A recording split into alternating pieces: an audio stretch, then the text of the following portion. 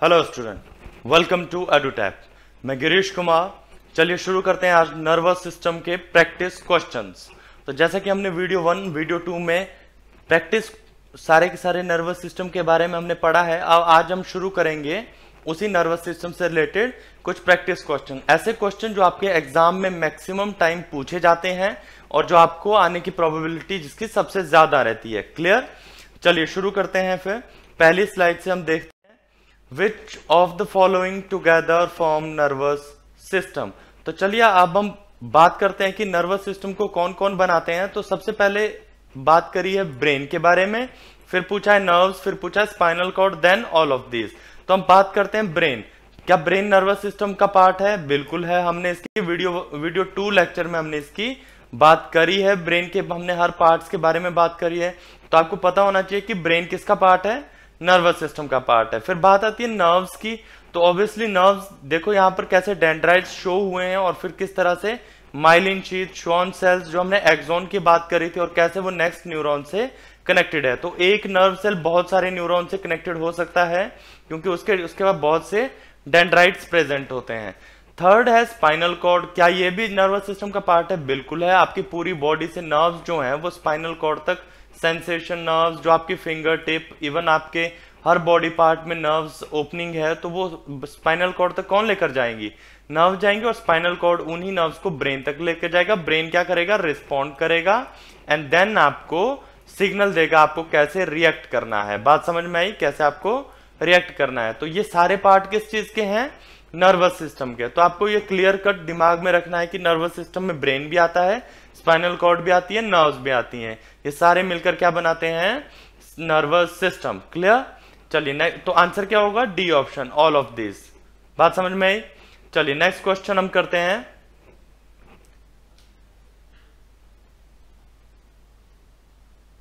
Next question है which of the following statement is true about the cerebellum तो देखो सबसे पहली बात आपने इस चीज़ में कंफ्यूज नहीं होना है कि सेरिब्रम क्या है और सेरिबेलम क्या है। दोनों अलग अलग पार्ट है सेरिब्रम मो 85 परसेंट जैसा कि हमने वीडियो वन में पढ़ा था कि सेरिबेल सेरिब्रम जो है वो 85 परसेंट ऑफ़ ब्रेन बनाता है। लेकिन जो सेरिबेलम है वो बनाता है वो एक बिल्कुल छोटा सा मेड्यूला के पीछे वाले पोस्टर पे जो है प्रेजेंट है। ये का, काम क्या होता है इसका? It regulate the muscle movement and locomotion जो आप चलते हैं मूवमेंट करते हैं मसल की, या फिर जो आप लोकोमोशन लोकोमोशन का मतलब होता है मूवमेंट मतलब चलना एक हिसाब से। तो आप लोकोमोशन से कंफ्यूज मत करना लोकोमोशन होता है चलना मूवमेंट भी जो आप मूव करते हैं। तो ये पहला ऑप्शन तो बिल्कुल करेक्ट है, क्योंकि इसका काम क्या है? मसल मूवमेंट और लोकोमोशन अगर आपको याद हो तो मैंने हर पार्ट के अलग से आपको ये फ़ंक्शंस भी करवाए हैं। बात समझ में आई? नेक्स्ट है it is a part of brain obviously it is a part of brain brain के अंदर ही प्रेजेंट है तो पार्ट ऑफ़ ब्रेन ही होगा। तो आंसर डी तो हो नहीं सकता तो answer would be C option इसमें क्या कहा है? Both A and B will be the answer बात समझ में आई? चलिए नेक्स्ट क्वेश्चन है।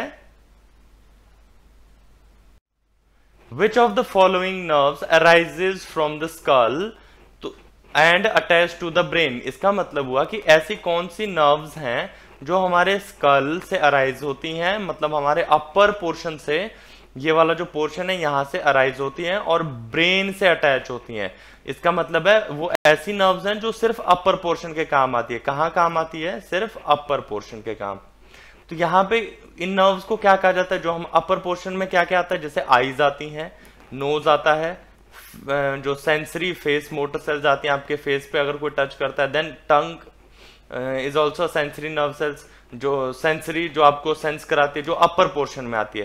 फिर सेरिबेलम ईयर ऑडिटी ऑडिटरी नर्व्स होती हैं, जो आपको ऑडिसिटी में हेल्प करती है, आपके हियरिंग में हेल्प करती हैं। बात समझ में आई? Heart lungs and stomach liver first and spinal spinal ये तो फिर यहाँ से जो फ़र्स्ट स्पाइनल है, इससे ऊपर वाले की बात की जा रही है अभी। तो ऊपर वाले की जो नर्व्स हैं तो स्पाइनल नर्व्स तो उन्हें कहेंगे नहीं। क्यों? क्योंकि स्पाइनल नर्व्स कहाँ से राइज होती हैं? स्पाइनल कॉर्ड से। बात समझ में आई? स्पाइनल कॉर्ड से क्या होती है? स्पाइनल नर्व राइज होती हैं। अगर आपको याद हो तो स्पाइनल कॉर्ड के पार्ट्स थे, वो हम आगे वाली स्लाइड्स में डिस्कस ज़रूर करेंगे। तो thoracic nerve, no, it is a part of spinal nerves. यही चीज़ मैं आपको कह रहा था कि हम इन्हें आगे डिस्कस करेंगे, कितने पार्ट्स होते हैं स्पाइनल कॉर्ड के। सो so दैट अगर आपको थोरेसिक नर्व या फिर कॉकेजल नर्व ये सारी टर्म्स हैं तो आप पहचान सकें। सो कॉकेजल नर्व भी नहीं है, क्योंकि ये भी किसका पार्ट है? स्पाइनल नर्व तो obviously the answer will be cranial nerves cranial nerves कहाँ से अराइज होती हैं? क्रेनियम से. क्लियर क्रेनियम किसे कहा जाता है? अपर पोर्शन ऑफ़ हेड जो क्रेनियल कैविटी होती है, जो क्रेनियम होता है upper part bony layer that is cranium तो यहाँ से कौन सी नर्व्स अराइज होंगी? क्रेनियल नर्व्स बात समझ में आई? चलिए नेक्स्ट क्वेश्चन है।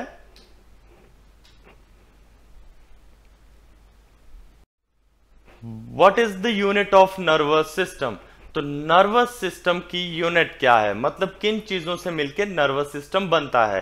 तो हमने बात की थी नर्वस सिस्टम क्या है, जिसमें क्या प्रेजेंट हो?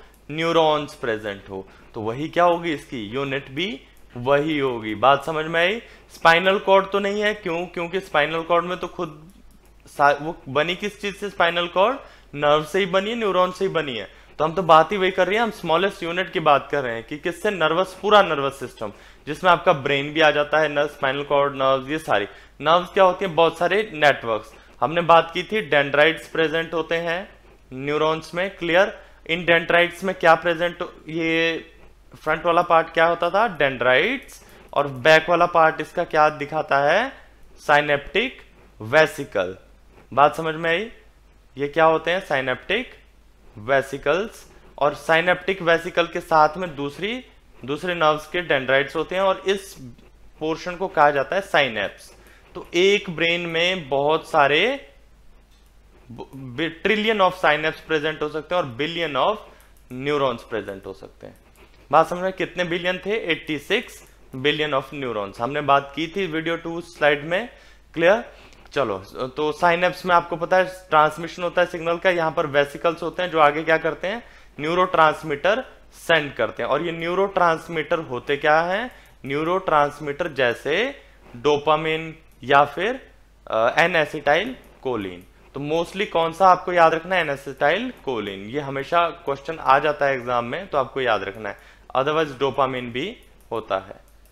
क्लियर तो ये आगे सिग्नल जैसे यहाँ पे जाएगा, ये आगे सिग्नल को ट्रांसफ़र कराओ मैंने एक और चीज़ कही थी कि जो सिग्नल ट्रांसमिशन है, वो हमेशा डेंड्राइट से, ये एक्सॉन टर्मिनल, या हम बात करते हैं साइनेप्स की तरफ़ ही जाएगा तो सिग्नल ऐसे ही फ्लो करेगा, हमेशा।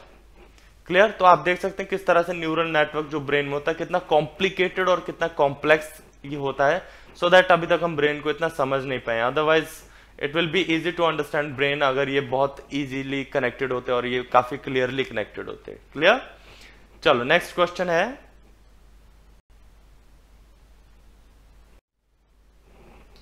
नेक्स्ट क्वेश्चन है which of the following controls involuntary action in our body तो सबसे पहली बात तो हमें यह पता होना चाहिए कि इनवॉलेंट्री एक्शन क्या होते हैं। सबसे पहले हमें यह पता होना चाहिए उसके लिए भी कि वॉलेंट्री एक्शन क्या होते हैं। देखो इनवॉलेंट्री होते हैं जो अपने आप हो जाए। जो क्या हो, अपने आप हो जाए। जैसे जैसे मान लो, अभी आप धूप में बाहर निकले, सुबह उठ के तो आपकी आँखें क्या हो जाती हैं? बंद हो जाती है ना? तो वो क्या है? इनवॉलेंट्री एक्शन अब इससे भी अच्छा एग्ज़ाम्पल अगर आपको देखना है तो आपका हार्ट जो है, जो आपका दिल है, या जो आपका हृदय है, वो हमेशा क्या होता रहता है? वो हमेशा धड़कता रहता है। आपसे पूछता तो नहीं है कि कब धड़कना है? या आप उसे बताते तो नहीं है, जी, अब धड़कना शुरू कर। या जब भी आपको कोई दिखे तो आप ये तो नहीं बोलते कि अब ज़्यादा से धड़कना शुरू कर। नहीं, वो अपने आप धड़कता है, अपनी मर्ज़ी से हमेशा ही धड़कता रहता है और कभी बंद नहीं होता। इसका मतलब क्या है कि वो वहाँ पर जो मसल की मूवमेंट है, वो कैसी है? इनवॉलेंट्री मूवमेंट है। तो इनवॉलेंट्री मीन्स जो अपने आप हो जाए, जिसमें ब्रेन का रोल ना हो। तो ब्रेन का रोल यहाँ पर नहीं होना चाहिए, इसलिए ये एक्शंस क्या होते हैं? इनवॉलेंट्री एक्शंस होते हैं। अब बात यहाँ पर क्या की है कि which of the which of the following is control involuntary action in the body तो यहाँ पर बताइए कौन सा इनवॉलेंट्री एक्शन है जो बॉडी में जो कंट्रोल करेगा? तो यहाँ पे इन मेड्यूला की बात की है जो मिड ब्रेन में है मेड्यूला है जो स्पाइनल कॉर्ड में मेड्यूला है जो हाइंड ब्रेन में और या मेड्यूला है जो फोर में। सबसे पहली बात कि ये है कौन? मेड्यूला ही है। जो क्या करेगा आप में? ये इनवॉलेंट्री एक्शन को कंट्रोल करेगा। बात समझ में चलो, अब इसको कंट्रोल कौन करता है? मेडुला और कहाँ पर प्रेजेंट होता है? तो देखो, आपको मैंने कहा, जब डायग्राम बनाया था तो आपको ये बताया था ना, मेडुला कहाँ पे प्रेजेंट होता है? इट इज़ प्रेजेंट ऑन ये वाला पोर्शन कौन सा होता था? हाइंड ब्रेन का। तो answer will be C option कहाँ पे प्रेजेंट है? हिंड ब्रेन में प्रेजेंट है, जो मेडुला है, वो हिंड ब्रेन में प्रेजेंट है। क्लियर तो ये ब्रेन स्टेम क्या होता है? ये पूरा पार्ट ब्रेन स्टेम होता है, जिसमें हाइंड ब्रेन ये आता है, और हमने पढ़ा था मिड ब्रेन ये आता है, इसके नीचे पोन्स था देन मेडुला था। क्लियर और ऊपर वाली साइड था hypothalamus then pituitary gland this one is cerebrum and this one is जो बैक वाला पार्ट ये वाला सेरिबेलम क्लियर तो आपको इस तरह से ब्रेन को देखकर ही आपको इसका पूरा स्ट्रक्चर याद हो जाना चाहिए, एक पूरी तरह से समझ आ जाना चाहिए कि चीज़ें क्या लिखी हैं और कैसे लिखी हैं। क्लियर चलो नेक्स्ट क्वेश्चन है। देखो what is the speed of nerve impulse बहुत अच्छा क्वेश्चन है। बहुत इजीली आप इसे सॉल्व भी मतलब आपको पता होना चाहिए स्पीड क्या होती है नर्व इंपल्स की? ये एक्चुअली डिपेंड भी करता है। इसलिए इसका आंसर हमेशा एक जैसा नहीं होगा तो मतलब ए ऑप्शन तो हो नहीं सकता। क्यों? क्योंकि ये पर्टिकुलर कोई स्पीड नहीं होती। अगर कोई इलेक्ट्रिकल सिग्नल है तो इलेक्ट्रिकल सिग्नल हमेशा कैसा होगा? फास्ट बात समझ में आई? और जब कोई भी इलेक्ट्रिक पोटेंशियल करके जो सिग्नल जाएगा आई I मीन mean, जो केमिकल सिग्नल होगा वो कैसा होगा? हमेशा थोड़ा स्लो होगा। तो इसकी स्पीड फास्ट भी हो सकती है स्लो भी हो सकती है। तो answer will be B 0.5 to 130 metre per second तो देखिए इतना तेज़ी से जो इलेक्ट्रिक सिग्नल है वो हमारी बॉडी में दौड़ता है। आप देख रहे हैं इधर नर्व नर्व्स जो हैं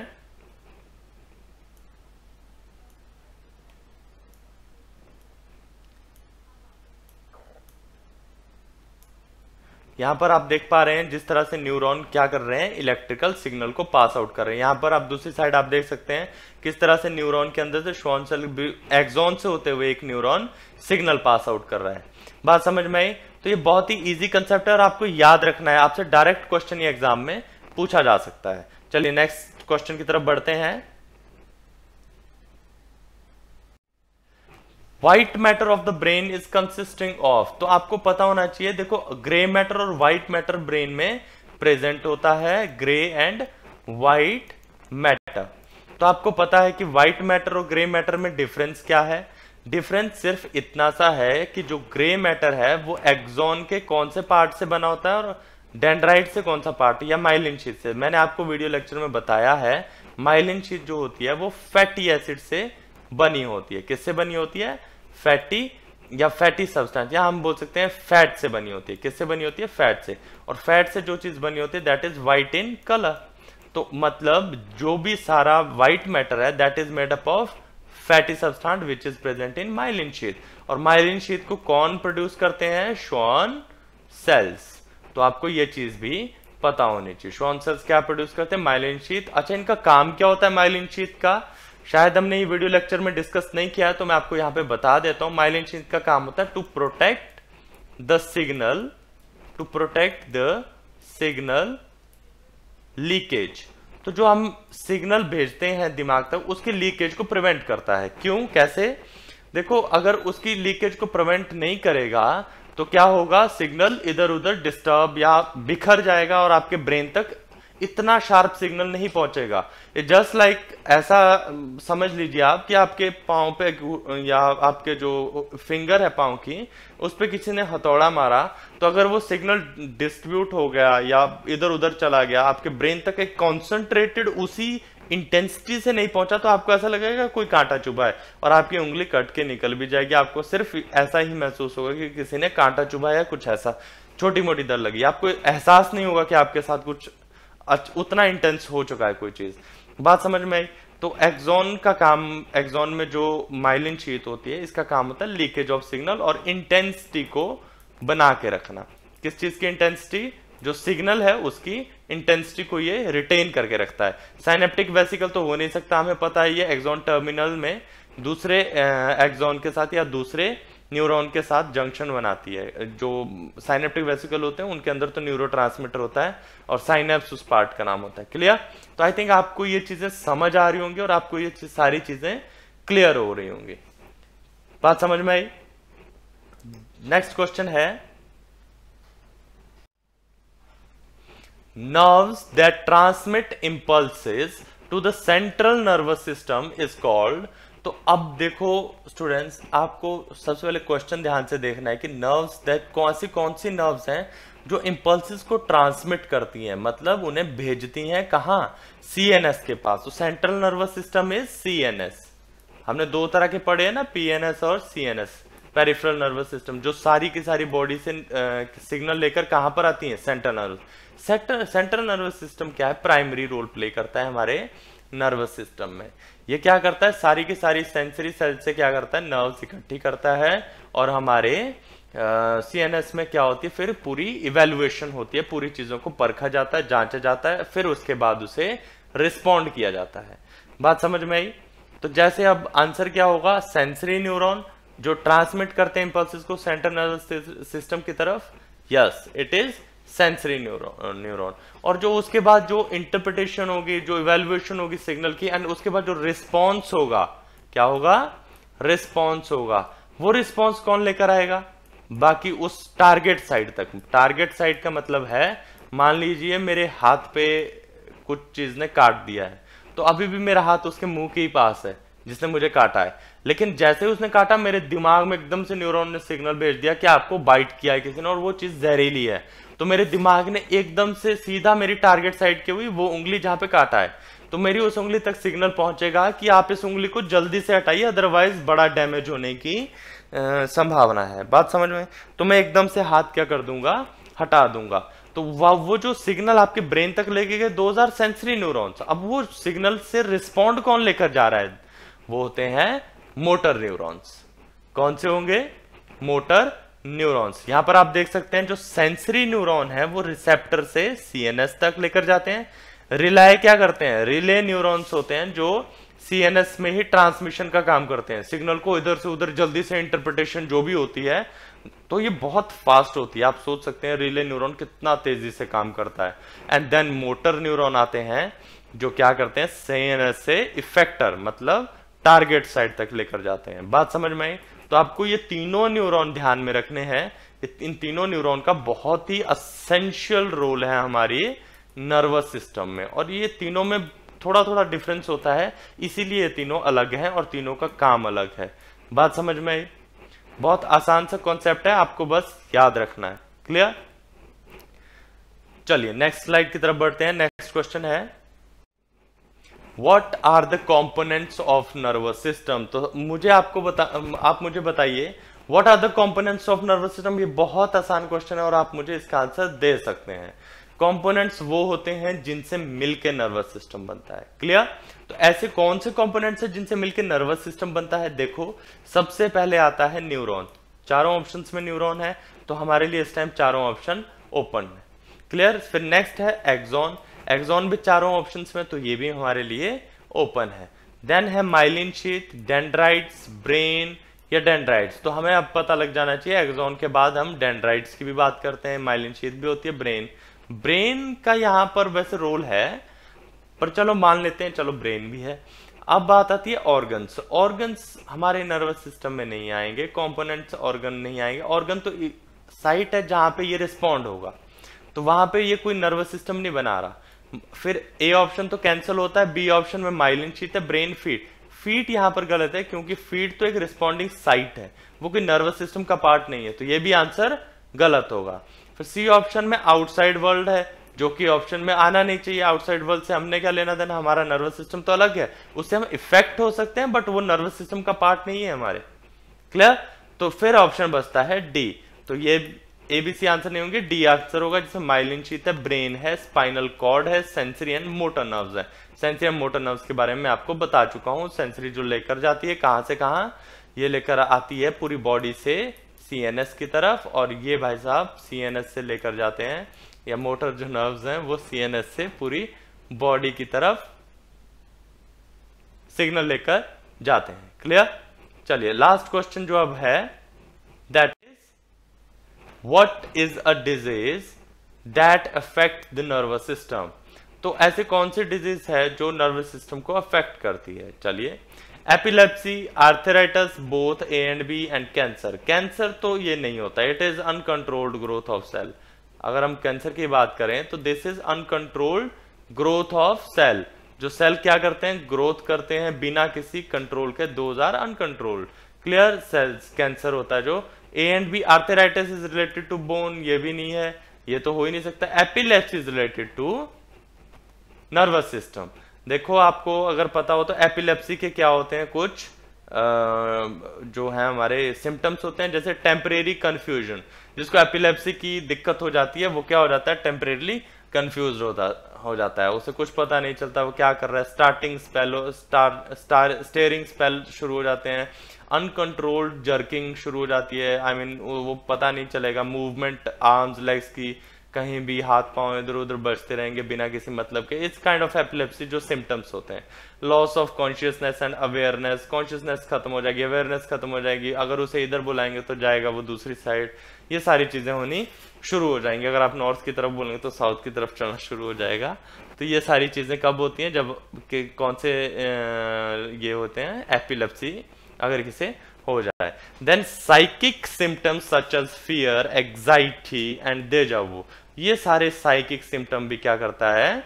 एपिलेप्सी वाला पेशेंट जो है वो शो करता है। उन्हें क्या हो जाते हैं? साइकी हो जाती मतलब आई मीन फियर सा शुरू हो जाता है। बिना किसी चीज़ के वो जैसे फोबिया है, उस टाइप की चीज़ें हो जाएँगी। या फिर जो एग्जाइटी है एग्जाइटी उन्हें बहुत छोटी छोटी चीज़ों से शुरू हो जाती है। जैसे कोई भी चीज़ से किसी भी चीज़ से किसी भी काइंड ऑफ़ की एग्जाइटी उन्हें शुरू हो जाएगी बिना किसी मतलब जिसके लिए नहीं होनी चाहिए। And deja vu is a kind of signal transmission जिसमें हमें ऐसा लगता है कि हमें हमारे साथ कोई भी चीज़ ट्वाइसली हैपन हो रही है या दो बार हैपन हो रही है। हमें ऐसा लगता है कि ये चीज़ पहले हो चुकी है। इट जस्ट uh, कि आपकी जो ब्रेन है उसको सिग्नल दो बार चला जाता है ट्वाइस चला जाता है। क्यों चला जाता है? Due to failure of nervous system so so, यही है कि जब भी आपका नर्वस सिस्टम फेल होगा तो कोई एक सिग्नल हो सकता है आपको दो दो बार पहुँचे। तो आपका ब्रेन उसे इंटरप्रेट करके यही बताएगा कि ये सिग्नल ये चीज़ तो पहले हो चुकी है। दैट इज़ दे जाओ क्लियर सो ये सारे क्वेश्चन आई होप आपको हेल्प करेंगे आपके आने वाले एग्ज़ाम में। आई होप ये क्वेश्चन आपको पसंद आए होंगे आपको अच्छे लगेंगे और आपने कोशिश की होगी वीडियो पॉज करके ये क्वेश्चन सॉल्व करने की। अगर आपने नर्वस सिस्टम पे वीडियो वन और वीडियो टू नहीं देखे हैं तो प्लीज़ जाइए और देखिए सो दैट आपको ये वीडियोस अच्छे से समझ आए और आप इनको कर सकें। ये सारे क्वेश्चंस बहुत इजी हैं, बहुत आसानी से किए जा सकते हैं और बहुत इंपॉर्टेंट चैप्टर भी है, क्योंकि आपके ब्रेन से मैक्सिमम क्वेश्चन आपके एग्ज़ाम में पूछे जाते हैं और हर साल पूछे जाते रहे हैं। तो आपने ये ये वाला चैप्टर छोड़ना नहीं है और बाकी के जितने भी ह्यूमन बॉडी से रिलेटेड जितने भी पार्ट्स के हमने पढ़े हैं वो आपने अच्छे से करने हैं। सो so दैट आप, आपका बायोलॉजी से एटलीस्ट कोई क्वेश्चन गलत ना हो और आप उसे क्वेश्चन को गलत ना करें। क्लियर तो आई थिंक जो ये एपिलेप्सी है, यहाँ पर आप देख सकते हैं, इससे रिलेटेड बहुत सारे सिम्टम्स यहाँ पर दिए हैं। ये जो आप पढ़ सकते हैं कि क्या क्या ट्रिगर होता है स्पॉन्टेनियसली आप साइकोलॉजिकल इफेक्ट्स वगैरह, आपके दिमाग में बहुत सारे थॉट्स चलते हैं, ये सब है। क्लियर चलिए। Thank you thanks for watching I hope आपको ये वीडियो लेक्चर अच्छा लगा होगा. अपने व्यूज़ वगैरह आप डिस्कशन uh, फोरम पर दे सकते हैं. अगर आपको कोई क्वेरी करनी है तो वो भी आप डिस्कशन फोरम पर कर सकते हैं. Clear thank you so much thanks for watching